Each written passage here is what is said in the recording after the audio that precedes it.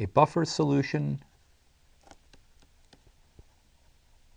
solution contains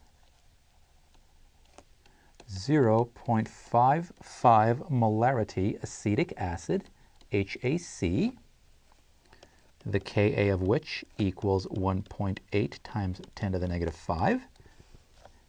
And it contains 0.45 molarity sodium acetate, NaAC. Calculate the pH of the solution. Calculate the pH of this buffer. Well, guess what? We already did this problem. We just did it a minute ago when we did the hydrofluoric acid and the sodium fluoride.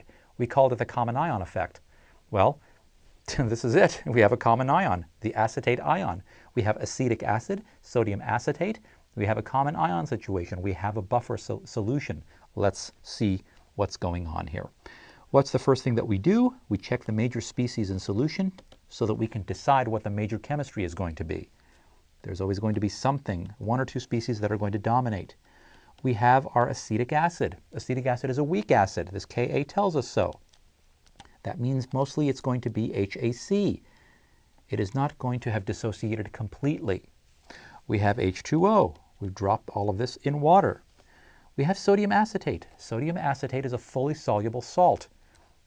It is floating around as free sodium and free AC minus of these solutions, an equilibrium, the dominant equilibrium is going to involve this species and that species. And here's what the equilibrium is going to be. HAC in equilibrium with H plus plus AC minus. Now we'll do an initial, a change, and an equilibrium. Our initial HAC concentration is 0.55 molar. 0.55 molarity. Zero here our initial acetate concentration is 0.45 molar sodium acetate, fully soluble. It dissolves completely, right? Uh, just to show you, um, NaAC dissolves completely to Na plus plus AC minus. That's what this is right here. Therefore, 0.45 moles per liter produces 0.45 moles per liter of acetate, 0.45 molarity. Well, some of this is going to dissociate. Some of this is going to show up. Some of this is going to show up. 0.55 minus x. This is x. This is 0.45 plus x. Now we set it equal to the Ka. Our Ka is 1.8 times 10 to the negative 5.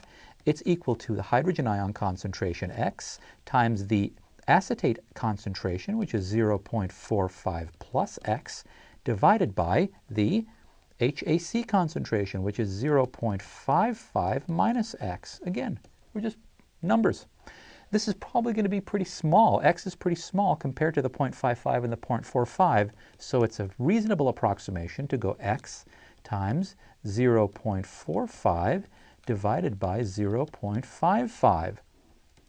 When we solve for this, we get a hydrogen ion concentration of 2.2 times 10 to the negative 5 which implies that the pH is equal to 4.66. There we go. You have a buffer solution. You have a weak acid, acetic acid, and you have the salt, a salt of its conjugate base. The conjugate base of acetic acid is acetate. A salt containing that is sodium acetate. When you drop all of these in solution, the things that are floating around are the free, the acid, not the free ions. The acid itself is weak. That's what this Ka says.